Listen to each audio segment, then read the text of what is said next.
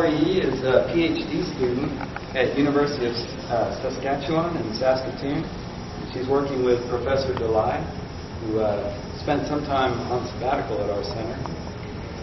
Uh, title of her talk is Synthesis and Characterization of CNHs for Hydrotreating of Gas Oils. And the co-authors are Professor Dalai, John Ajay, uh, and John Adjaye of Syncrude Canada and Edmonton. Good morning, everyone. So I'd like to thank the Division of Energy and Fuel for giving us this opportunity to present our work. So, uh, so my presentation, the outline of my presentation begins with an introduction, which will be followed by the literature review, and then I'll talk about the research, which includes knowledge gas, hypothesis, and objectives. This will be followed by the experimental method, results and discussion, summary and conclusion, and then I'll acknowledge our funding.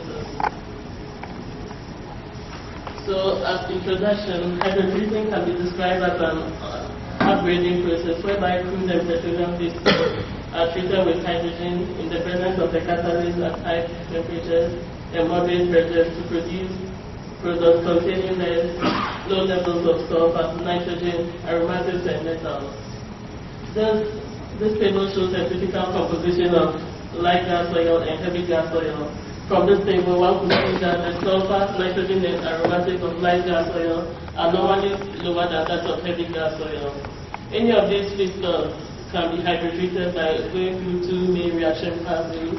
That is hydropurification, which involves the removal of heteroatoms such as sulfur, nitrogen, oxygen, and vanadium, and then hydroconversion, which in involves a change in molecular weight and structure of the organic molecule, such as hydrogenation and isomerization. So environmental regulations regarding the quality of fuel and subsequent emissions from this fuel is one of the driving factors for hydrotreating. In USA, the current limit of 15 ppm, in USA and Canada, the current limit of 15 ppm was set in 2006. For EU and Japan, the current limit of 10 ppm was set in 2009 and 2007 respectively. With such stringent regulations in place, as the, with such stringent air quality limits are in place, as legislation becomes tighter and tighter, the amount of sulfur in the environment is supposed to be minimized. And this controls stock emissions, which is one of the environmental problems being experienced in these different countries. So one of some of the reasons for upgrading is to meet tighter for companies or transportation industry to help them meet tighter regulations or stringent product quality requirements and then to curb environmental problems. A hydrolysis catalyst normally contains of a support such as gamma, alumina, and titanium. It also has active metals like molybdenum and tungsten and a small amount of promoters are also added to improve the selectivity, accessibility, um, stability of the catalyst. So this table shows the typical physical properties exhibited by a hydrotreating catalyst. High surface area of 150 or more is important because it allows the active species to be well dispersed and then the pore volume within this range, 0.5 to 1, is also important because it allows the capacity for metal deposition. Average core diameter within 7.5 to 25 nanometers. Example for HDS involving smaller molecules, an optimal diameter of 10 nanometers is important. So the crushing strength is usually between 28 to 138 kilopascal. And then this crushing strength is also important because if you consider industrial reactors, you don't want the catalyst bed to break and then once you are within the crushing strength, like you prevent the formation of fines, like catalytic fines, which will increase pressure draw. Normally, cobalt and nickel weight percent are in this range 3 to 8, and then we have molybdenum and tungsten between 10 to 30 percent.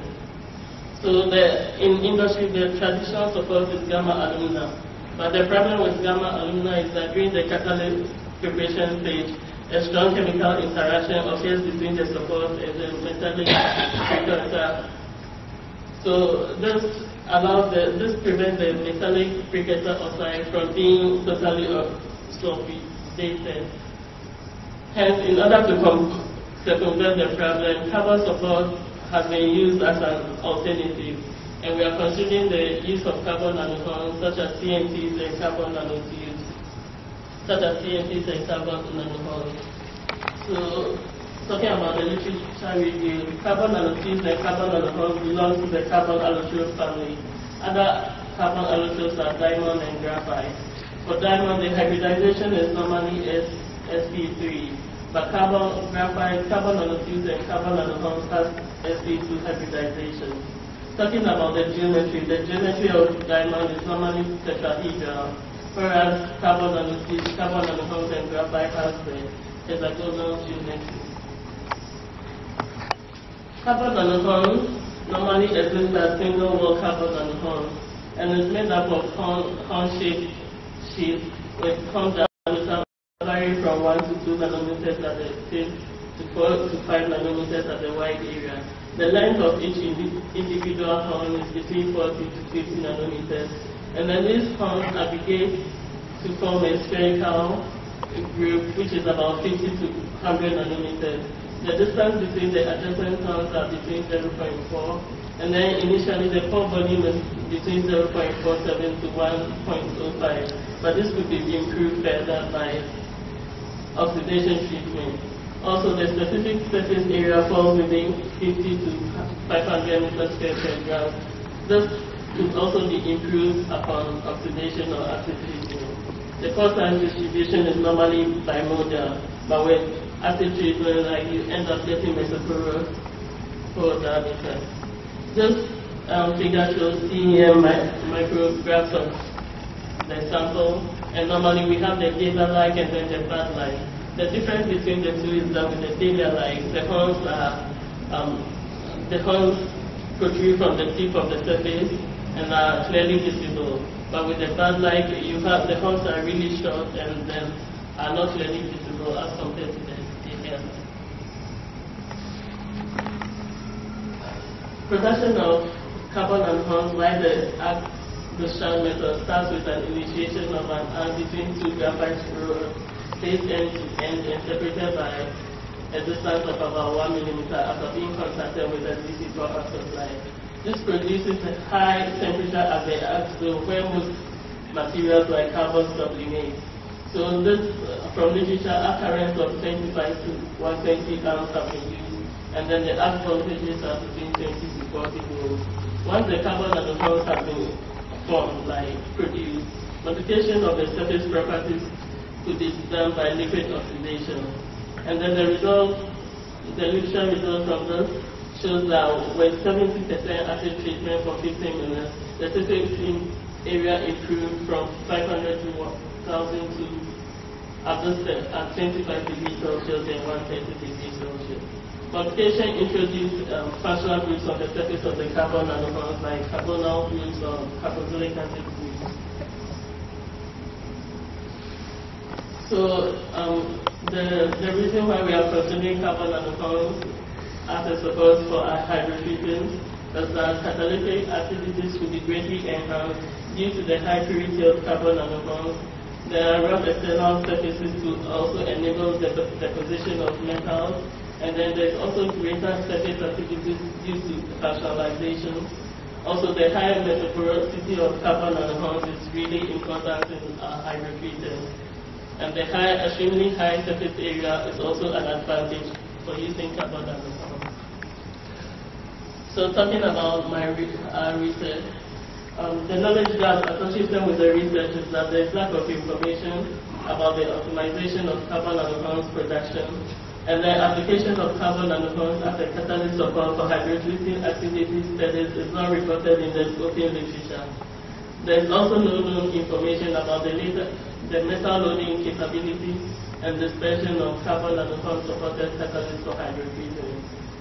In terms of hypothesis, we expect the variation of synthesis conditions like the current, voltage, electrode dimension could affect the CNH production in terms of like quality, the amount, the type, And the oxidation treatment to, could create nanowindows and the carbon nanohorns, which would help to eliminate pore blockage and improve the surface uh, area porosity and surface properties of the carbon nanohorns. The chemically inert nature of carbon nanohorns materials may reduce the reduction of the strong metal support interaction as compared to gamma alumina. Also, modification of the surface chemistry via functionalization of carbon nanohorns will provide sites for anchorage of the precursor metal ions. The research to develop NiMo catalysts supported on carbon nanohorns for hydrotreating of gas oil derived from Athabasca bitumen. And the sub-objective related to this work is to synthesize and modify the functional properties of carbon nanohorns and to determine the morphology and characteristics of the carbon nanohorns. Going to our experimental method. So this is the setup that has been built to carbon nanohorns. It consists of a Dewar flask, um, DC power supply, ammeter, voltmeter, and then the control box. So this schematic shows the, the arc discharge process. In order to generate it, two graphite rods along the cathode rods of high 99% purity has to be um, submerged in liquid nitrogen contained in the Dewar flask. The arc between the anode and the cathode, the 1 millimeter arc is maintained by using the control box which automatically adjusts the motor fuse screw as the anode side gets sublimated or consumed. Um, initially, an arc current of 50 amps was experimented, but this was increased gradually to find the effect of current on the production and then um, depending on the gap and the current being used, as voltages ranges ranging from 20 to 30 volts were registered on the voltmeter. Those the um, anode dimensions that were used in most parts of the experiment, and then the cathode dimensions too were used. This picture shows the reflection of the arc during the process.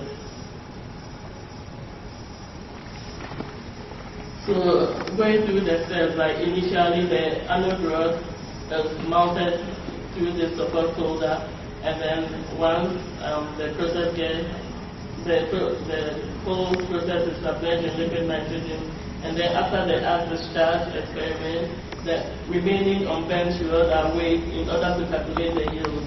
If all the product in the Dewar flask, which contains like carbon products, is allowed to sit for at least 12 hours to allow the liquid nitrogen to evaporate. Once this happens, uh, deionized water is added to the product in the Dewar flask, and then there is segregation of particles. We have some of the particles in suspension, some floating, and then some at the, at the bottom. Some settle at the bottom. The floating and suspended particles are normally carbon nanohorns. So these particles are filtered, collected, and dried. The other carbon particles which are distributed as OCT samples are also collected, dried, and so uh, characteristics, in order to evaluate the properties of carbon these um, techniques were used, be to evaluate the surface area and then the um, textural properties, TGA to determine the thermal stability of the carbon nanohorns, TEM to investigate the morphology of the and then the cost structure information. FTIR to determine the functional tools present, Raman to determine the quality of the carbon nanohorn, and then investigate character, characteristic features of the carbon nanohorn. Also, XRD was used to determine crystal structure identification. So, in order to find out, uh, this, um, this um, figure shows the effect of yield based on the different current in, based on the different current. So from this figure, one could see that as the current increased from 50 to 100, there was a, a steady increase in the yield of carbon nanohorns up to 70. Beyond like from 80 to 100, there was no appreciable yield increase in the yield. Also, when you look at the production rate, the production rate for carbon nanohorns from below from 50 to 70 was quite very low, like 0.03 grams per hour. However, when the current increase from 80 to 100, there was an increase in the production rate. But in, this increase too was not too, um, too substantial as you vary the current from 80, 90 to 100. In talking about the system information, like increasing the current results in a decrease in the liquid nitrogen consumption. Uh, this is because with an increase in current, there, there's an increase in the amount of carbon atoms that are sublimated from the surface of the atom. So as this um, as this process is enhanced, the liquid nitrogen consumption reduces and then the process duration also reduces. In order to find out the electrode rod dimensions, at the fixed current of 90 amps, this length of rod were investigated. And then this is the weight of the rod, the equivalent weight of the rod depending on the length. From this column, you can see that the weight of the carbon nanocompounds produced did not vary so much upon changing the different, after using the different dimensions. However, the process duration decreased with, with le- uh, lesser amounts of rod. So based on this um, insignificant change in the weight, it therefore called for system modification. So we have to modify our system by including buckles. The internal diameter of these two buckles used were 4 millimeter and 8 millimeter. And then we also have to extend the length of our rod so that like, we give more space for the gas to condense on the surface of the Eva flask.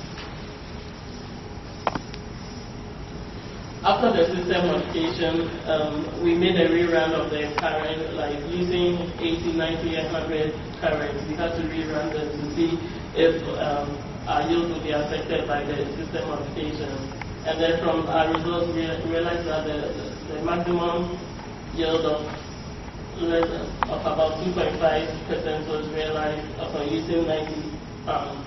And then looking at the production rate to like a maximum production rate of, of 0.13 was observed at 90 amps. So in order to uh, investigate the effect of yield on the effect of time on the yield of carbon nanocompounds, at a fixed of 90 amps, we investigated different times from 10 to 50 minutes.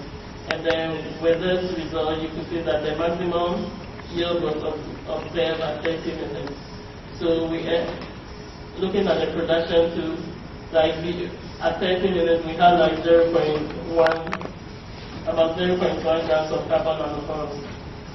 As we increase the time, you expect that the the amount of carbon nanocompounds will double or triple, but this doesn't happen because like because of the extreme turbulence in the system and then the evaporation of gas bubbles, you end up losing lots of particles in the process. So uh, all the results on the yield in the previous slide were based on one giga plan. So in order to further further improve our production, we had to purchase like use six giga flags and then run the experiment for 30 minutes per flag. After the carbon nanocompounds had been synthesized, we functionalized our samples by in employing the liquid oxidation method, and then we used 30 percent of HNO3 and the reflux for 1 to 5 hours at 110 degrees.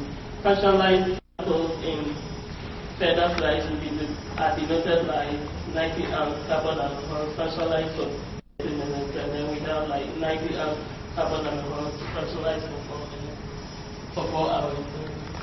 So this is the TEM micrographs of the as prepared carbon nanocompound sample. These are 90 amps and then the, aggregate diameter is about 100 nanometers and the uh, zoom on the.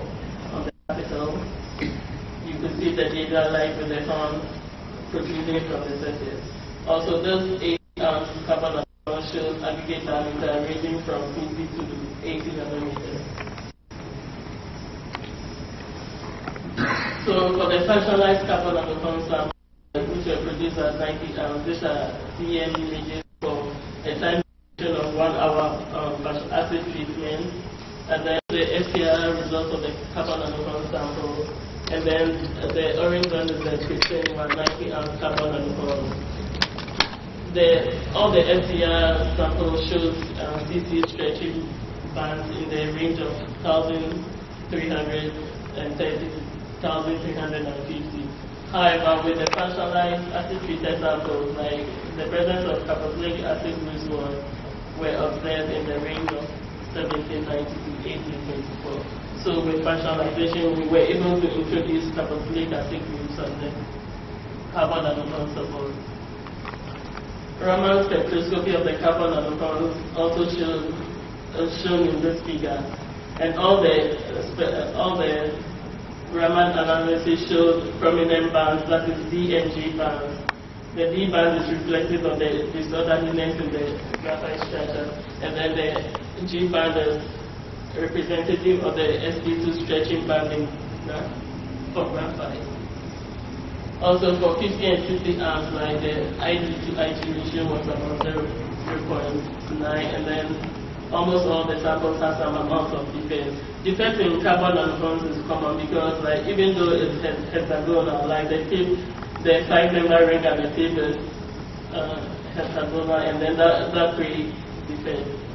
Like the, the five member hexagonal ring the five member ring on the tip creates the defect in carbon nanohorns, so it's usual to see defect in carbon nanohorns.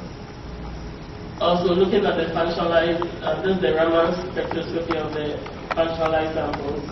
So, uh, with the with functionalization, you extend the holes or nano windows on the carbon nanohorns, and these nano windows are also tend as defects. So, once the functionalization is increased, we observe uh, optimum functionalization of 30 minutes, the ID to IG ratio increase which was 1.41, and therefore this uh, um, concludes that like there were defects, there were nano windows in the, and then some pores have been opened, which is beneficial in hydrotreating reaction. Those are the typical hydrotreater that's used in our lab. So we have the feed and then the um, hydrogen coming from the top, and then they go through the reactor in the downward flow pattern. Upon contacting with the acid sulfur catalyst, metal sulfur catalyst. The hydrogen and the oil react to form saturated hydrocarbons and then ammonia, H2S, and free metals. The, uh, the reactor effluent is passed through the scrubber to take away the ammonia, and then the resulting effluent goes through the high pressure separator. Once it goes, it gets here like the H2S the gas, the H2S gas goes through a scrubber, is absorbed through the sodium hydroxide in the scrubber, and then the effluent from this high pressure, the liquid part of the product is passed through a striper to take away the nitrogen, to remove some of the nitrogen, and then the remaining product is collected and then analyzed for NS and other analysis. So this is a typical experimental round for LGO. Like there's sulfidation for one, uh, two days sulfidation, and then it goes through a pre-coking period where we stabilize the activity of the catalyst, and then we conduct all our experiments. Uh, currently, um, we are doing some LGO rounds with 2.5 percent of nickel and 13 percent of molybdenum and then the sample, the catalyst was calcined at 450 degrees Celsius for five hours with argon gas. The reactor pressure is um, used as 13, but we are varying to find out the effect of the pressure. And then at the moment we are conducting our runs with an LHSV. Our convention results are not present, present right now, so in, talking about the summary and conclusion, carbon nanotubes can be produced on a laboratory scale using the submerged arc and liquid nitrogen method. Then the yield for carbon nanotubes produced at the various currents investigated were no more than 3%. Also, the design of the carbon nanotubes could have an impact on the yield and production, even though the increasing in current do affect the production. The setup, the design of the setup is also important. The optimal carbon nanohorn support could be produced at 90 amps for 30 minutes and then functionalized with 30% of HNO3 for 30 minutes. Also, BET measurements showed that carbon nanohorns exhibit mesoporous diameters Visualization could also improve the textural properties. The Raman spectroscopy for all samples shows the prominent DNG band occurring between this ring, and then the loss of carbon nanopores particles is always a challenge, and therefore we always get low yield of carbon nanopores. So, in acknowledgement, I would like to thank the University of Saskatchewan for funding, and then the Syncrude Canada Limited and Syncrude Canada Limited and NSERC for funding. These are some of the references. Any questions? Comments?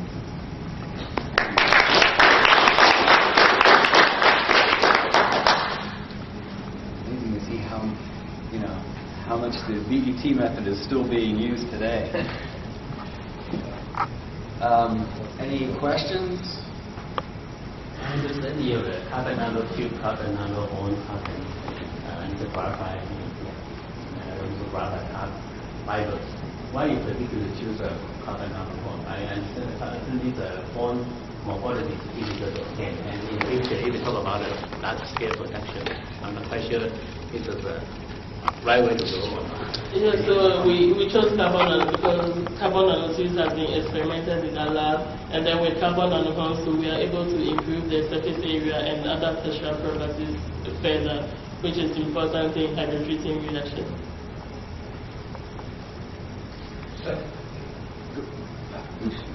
Surface area is not important in hydrogen calories.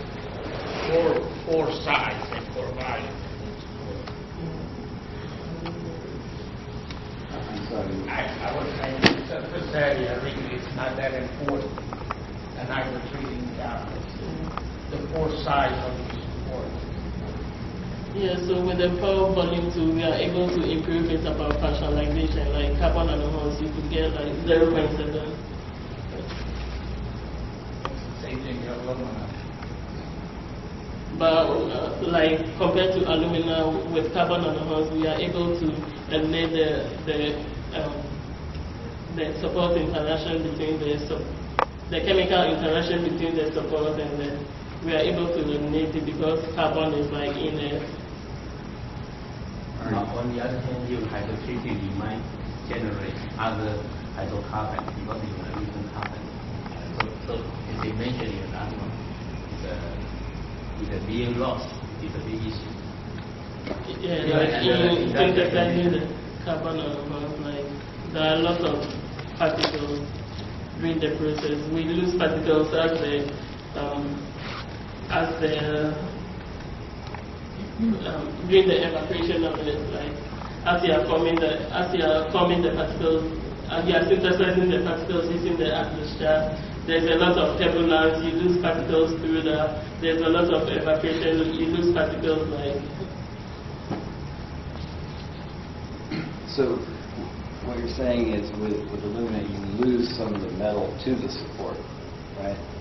Actually, you need some metal support interaction, I would think, to stabilize the, the particle size, the metal particle size. And aren't you creating, you're actually creating some metal support interaction by functionalizing the the carbon nanotubes in order to stabilize the particle. So really the benefit is what you're saying is that you're not sacrificing metal to the support. Is that right?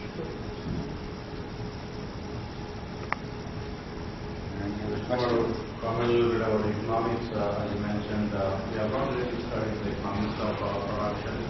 Uh, I think uh, looking at the application of uh, CNA for uh, uh, the the novel support for this particular process, I think economics will only follow this promising. Uh, I think we are uh, more in a preliminary stage. We have not seen, we have not seen any literature showing the CNH as a, as a support for uh, hydroprocessing or even uh, physiotherapy. Uh, so I think it's a very novel material. And uh, as you saw, the surface area is about 450 square meter per gram with the average core diameter is 12.5 nanometer. Even if you put 2.5% nickel and uh, 15% moly on this, on this material, so it's uh, quite promising. Yeah, from all the fundamental study, I I don't have any objection. I think It's really very nice.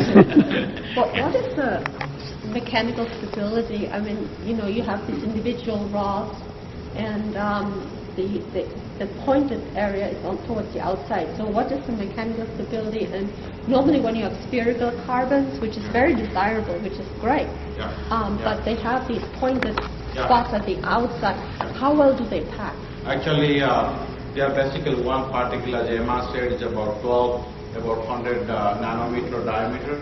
When you do the acid treatment, like uh, put through 30% nitric acid at 110 degrees C for uh, one to five hours, so it basically opens the, the, the so that you can put the metals inside for catalysis. So the tips are, uh, that you see just before the the dilute acid treatment, but after the treatment, there are no tips. It basically Oh. opens up for catalysis or for metal deposition, but they kind of stay together. But if you put, uh, if you do the uh, uh, the hydro treatment for longer period of time, it will probably crumble down to it's not anymore holding onto the same pattern as you saw in one of the TA picture. Let's thank Emma once again and all those people.